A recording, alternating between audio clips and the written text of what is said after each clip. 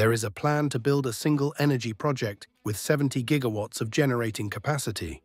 That is more power than all of Australia's main power grid combined. It's called the Western Green Energy Hub, a $100 billion project set for a remote corner of Australia. The plan includes 3,000 massive wind turbines and 60 million solar panels. But this project won't be powering homes. It will be used to create 5.4 million tons of green hydrogen every year, all built on a patch of desert larger than many European countries.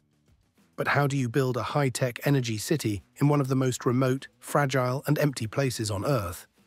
And how do you convince the people who have protected that land for 60,000 years to let you? That engineering and human challenge is what makes this one of the most complex mega builds ever attempted. The Western Green Energy Hub, or WGEH, isn't just a normal project. It was born from a completely new way of thinking. The entire project is located in the far southeast of Western Australia, on the traditional lands of the Mirning people.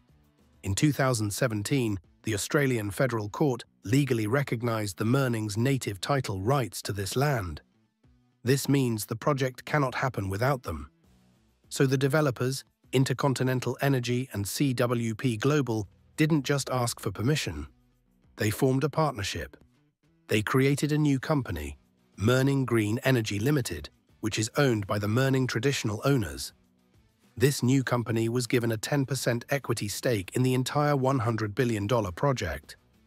This is a free carried interest stake, which means the Mirning people did not have to pay for it. Even more important, the Mirning have a permanent guaranteed seat on the project's main board of directors.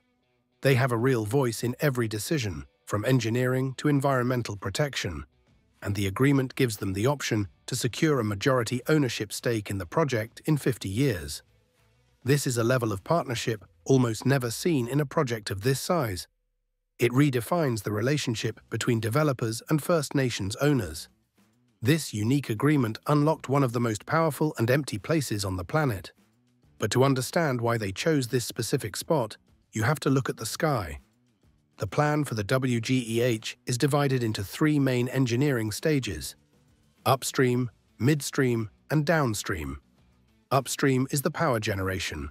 This is the part that rewrites the record books.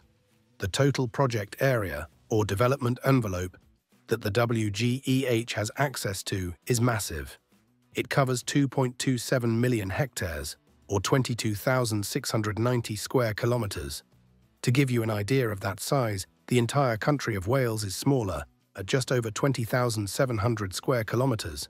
But here is the most important engineering detail. They are not paving this entire area.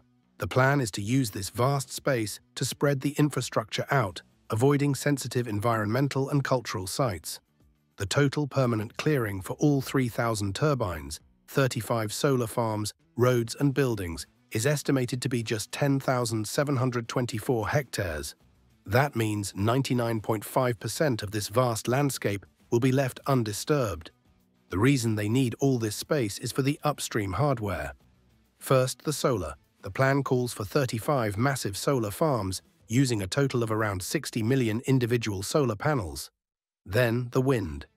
The plan includes approximately 3,000 wind turbines. These are not the turbines you see on a hillside. These are next-generation giants. Some reports suggest they could be 20 megawatt turbines. The largest onshore turbines being built today have rotor diameters over 260 meters and can stand taller than a skyscraper. Just one of these giant machines can power thousands of homes. The WGEH will build 3,000 of them, carefully spaced 1.5 to 2.5 kilometers apart to catch the wind. This hardware is designed to capture the site's most valuable asset, its optimal diurnal profile. That's a technical term for a perfect 24-hour cycle of power. Here's what it means. This part of Australia has very high-quality sun, so during the day, the 60 million solar panels will be generating a massive amount of electricity. But at night, the sun goes down, and that's when the diurnal pattern kicks in. As the land cools, powerful consistent winds sweep across the plains. The wind blows hard precisely when the sun isn't shining. This hybrid design creates a smooth, incredibly reliable 24-hour wave of green power. This 24-7 power is the project's secret weapon. a hydrogen factory is extremely expensive. You can't just turn it off every night. To be profitable, it must run constantly. And this location, with its perfect wind and solar tag team, provides that constant power. But this creates the project's first great engineering challenge. You have 70 gigawatts of power, again more than all of Australia's main grid, spread out over 22,000 square kilometres. How do you collect it all? Moving that much electricity over copper wires would be incredibly expensive and inefficient. You would lose a huge amount of power just in heat. So this is where the midstream stage begins. The engineer's solution is brilliant. Don't move the electricity, convert it. Instead of one giant central factory, the WGEH will be a distributed network. The plan is to build the project in modular stages, using something they call the node concept. Here is how it works. They will group the wind and solar farms into clusters. Each cluster will produce about 2 gigawatts of renewable power. Then, right in the middle of that 2 gigawatt power cluster, they will build a 1 gigawatt hydrogen factory, or node. This is a patented system. The electricity from the turbines and panels travels only a short distance to its local node. This design eliminates the need for thousands of kilometers of expensive long-distance power lines. It's estimated to be 10% cheaper and 10% more efficient. Inside each node, that 1 gigawatt of power is fed into a suite of electrolyzers. An electrolyzer is a machine that does one simple thing. It splits water, H2O, into its two parts, hydrogen, H2, and oxygen, O. The oxygen is released, and the hydrogen is captured as a clean fuel. Because this process is powered only by wind and solar, the product is called green hydrogen. So now you don't have a grid of power lines. You have 35 separate factories all making hydrogen gas. The new challenge is collecting the gas. To solve this, WGEH will build a massive grid of pipelines. These pipelines will connect all 35 nodes, collecting the pure hydrogen gas and transporting it. These pipelines also act as a form of storage, holding the energy within the gas itself. All these pipes flow to one central location on the coast, where the final downstream stage begins. This is where the project becomes three more mega projects, all built at the same time. To get this energy from the desert to the rest of the world, they must build a water factory, a chemical factory, and a brand new port. First, the water factory. The electrolyzers in the desert need millions of tons of water to split into hydrogen. But this is the Nullarbor, one of the driest places on Earth, the only water is the Southern Ocean. The plan calls for a massive desalination plant to be built on the coast. This plant will suck in seawater and use a process called reverse osmosis to create the ultra-pure water needed for electrolysis. At full scale, this plant will be able to produce 80 gigaliters of fresh water every year. That number is hard to picture. A standard Olympic swimming pool holds 2.5 million liters, or 2.5 megaliters. An 80 gigaliter plant can produce enough fresh water to fill 32,000 Olympic swimming pools every single year. This fresh water will be pumped from the coast back inland to the 35 hydrogen nodes. Second, the chemical factory. Now they have 5.4 million tons of green hydrogen gas. But you can't just put hydrogen gas in a boat. As a gas, it takes up too much space. To transport it as a liquid, you have to keep it at minus 253 degrees Celsius. This is incredibly difficult and expensive, so they convert it into something easier to ship green ammonia. At a huge processing facility on the coast, they will take the green hydrogen, H2, and combine it with nitrogen, N2, pulled directly from the air. This creates ammonia, or NH3.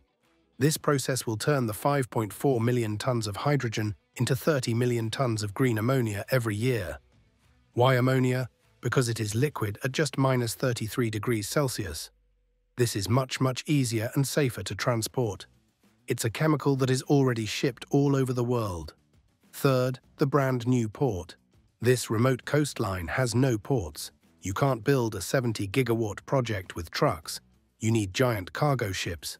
But you can't just build a pier out into the rough Southern Ocean. So the plan has two parts to bring in the 3,000 turbine blades, the solar panels, and the factory parts, they will build a marine offloading facility, or MOF. The engineering plans show this isn't a simple pier. They will actually dig a new harbour into the coastline. It is described as an excavated basin.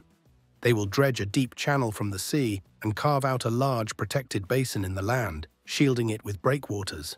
This will create a calm water harbour for cargo ships to safely unload the thousands of massive components. To ship the green ammonia out, they will build a different system. A subsea pipeline will be built, running from the ammonia storage tanks onshore out along the ocean floor. This pipeline will extend several kilometers out to a mono tower or a buoy system anchored in deep water. Giant ammonia tankers, some as large as 125,000 tons, will moor to this buoy, hook up a flexible hose, and load the 30 million tons of green ammonia for export to countries like South Korea and Japan. But this $100 billion dream is still just a plan. It is a 30-year, seven-stage project. The project is still moving through environmental approvals. The final go button for just stage one, the final investment decision, is not expected until 2029, with first production hopefully starting in 2032. And it faces massive criticism. First, the cost.